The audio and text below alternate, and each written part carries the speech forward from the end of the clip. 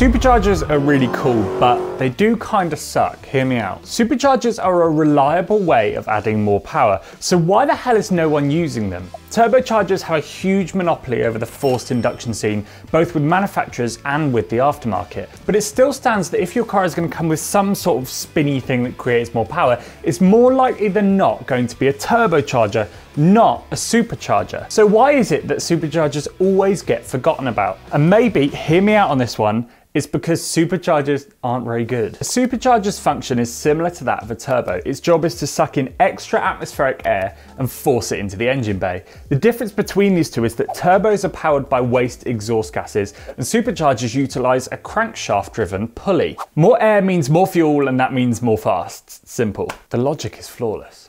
the term supercharger is used for mechanical forced induction that isn't a turbocharger. Turbos actually used to be referred to as turbo superchargers, but over time the two terms have been separated. The earliest version of a supercharger showed up all the way back in the late 1840s. A prototype was invented by a man from Birmingham named G. Jones, but unfortunately that's as much information as we could find. What we do know is that this predates even the first ever two-stroke or four-stroke engines. Superchargers are old. Just over 10 years later in 1860, the Roots brothers patented their air mover, which was designed to pump air into industrial blast furnaces in mines.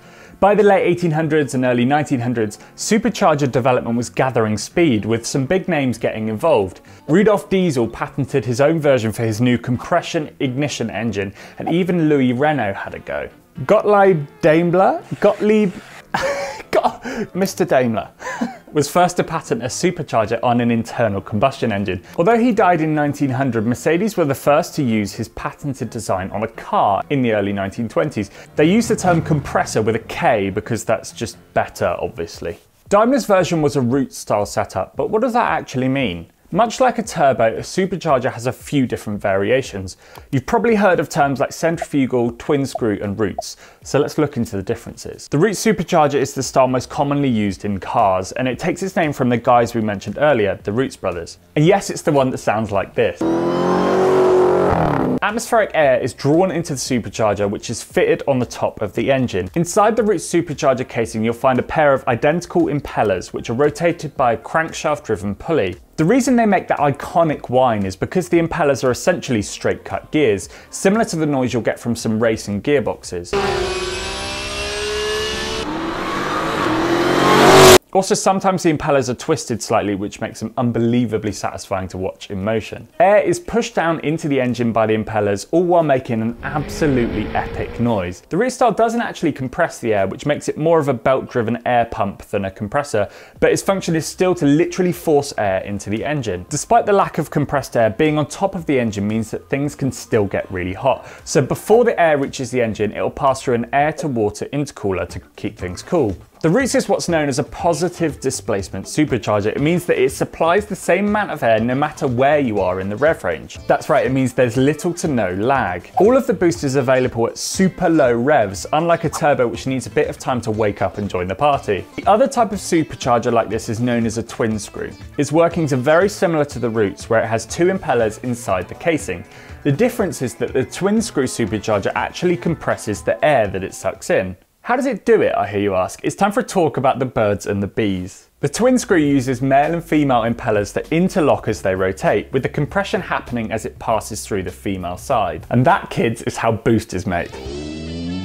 oh god. This is like one of those awkward classes you get in secondary school. Compressing the air means that there's a hell of a lot of heat to deal with, so it needs to pass through an intercooler to bring intake temperatures down. That all sounds great, so why am I saying that superchargers suck? Well, let me explain. The downside of positive displacement superchargers is that they're not very efficient.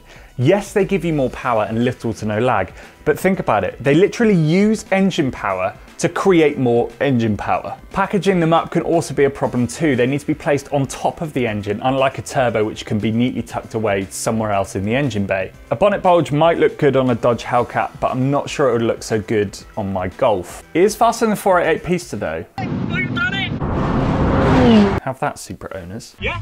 But they didn't give up on superchargers just yet. There is a type of supercharger that solves those packaging issues, and it sort of looks like a turbo.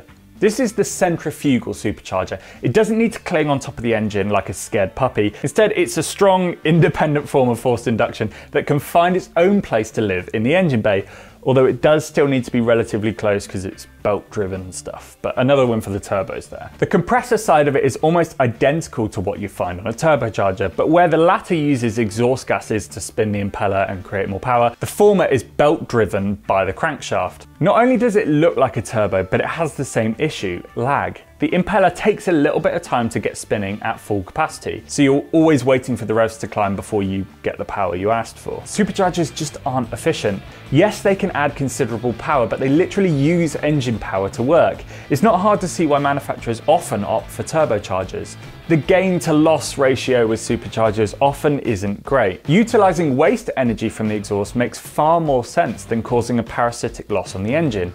American manufacturers like Cadillac, Dodge and Ford have stuck with the supercharger for their more extreme performance cars, but it's difficult to think of any car makers outside of the US that still use them. The Mini Cooper S used one for a few years until it switched to a turbo. Mercedes had its compressor on both regular cars and some AMGs, and Jaguar Land Rover used superchargers on V6s and V8s for years, but even they recently switched to turbos. Turbos are certainly no angels, but modern technology means things like electric turbos are fast becoming more and more popular. You should go check out that other video. From an engineering point of view, it's hard to fight the supercharger's corner, but despite all the downsides, it's really hard not to love them even if they do suck. Their inefficiencies kind of make cars like the Demon even more appealing. Dodge could have made it more efficient, more economical, and dare I even say faster, with a turbo or two. Using a supercharger gives it that unique sound as well as the brutal low down grunt needed to make it an incredible quarter mile muncher. If you like this video then you should watch this other video on why rotary engines kinda suck.